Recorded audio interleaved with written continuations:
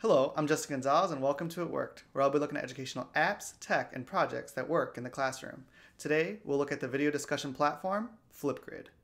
In this video, we'll talk about setup, usage, and the many benefits of Flipgrid in the classroom. And lastly, stay tuned at the end of this video for an exclusive It Worked giveaway. Flipgrid is a video discussion platform that can be used by teachers and students to engage in discussion through short videos.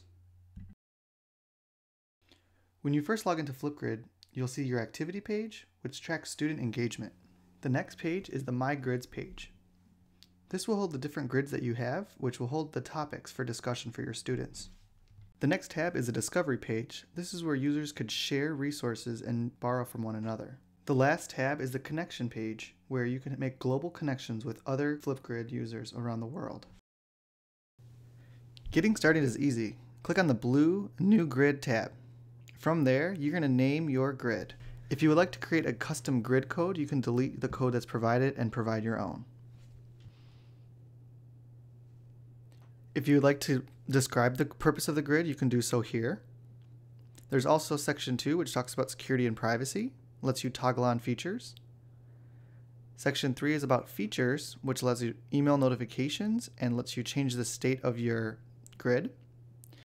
Section 4 allows you to customize your grid so you could either choose one of the preset images or upload your own. There are a lot of features when you're creating your grid, so go ahead and look through the settings and see what's appropriate for you. After you're happy with the settings and the appearance of your grid, press Create Grid. After you create your grid, it'll be time to create a topic. This is where students will discuss a particular subject or theme.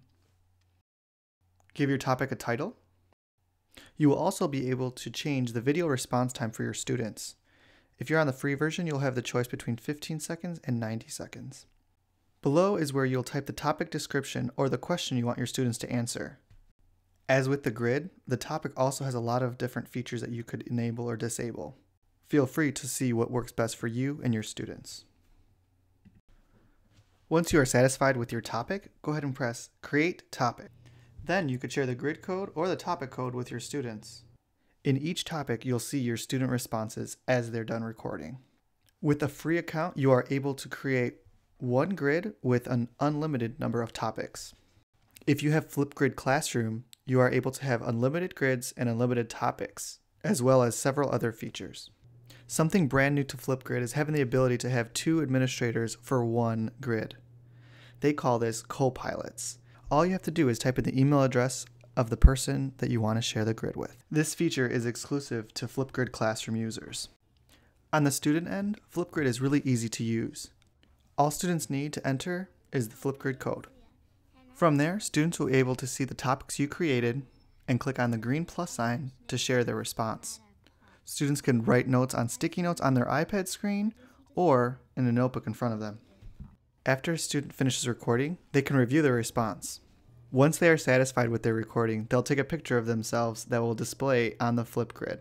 Students also have the option to draw on their selfie or to add stickers. The last step is to give it a title and post it to the grid. Use this code below for a 45-day trial of Flipgrid Classroom. If you're interested in a free one year subscription to Flipgrid Classroom, here's what you have to do like this video, subscribe to It Worked, and comment below on how you will use Flipgrid in your classroom. Don't forget to subscribe below to see more videos from It Worked in the future. Thanks for watching and see you soon.